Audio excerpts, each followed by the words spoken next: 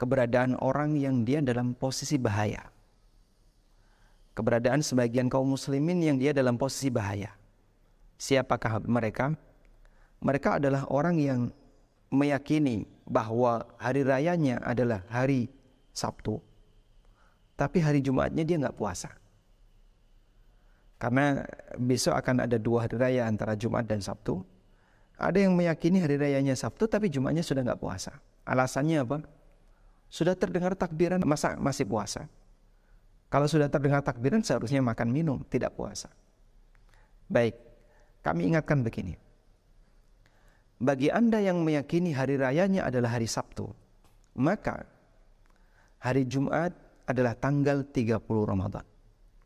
Dan jika itu masih tanggal 30 Ramadan, berarti Anda masih berkewajiban untuk berpuasa. Mau terdengar takbiran maupun tidak. Karena acuannya bukan terdengar takbiran dan tidak.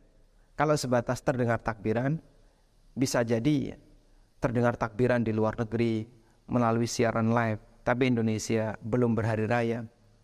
Terus gimana sikap kita? Apakah harus kemudian tidak puasa? Jawabannya nggak boleh.